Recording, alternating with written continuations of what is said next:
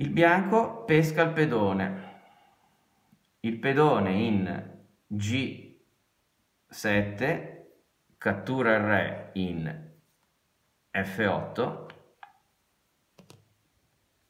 e la partita si conclude.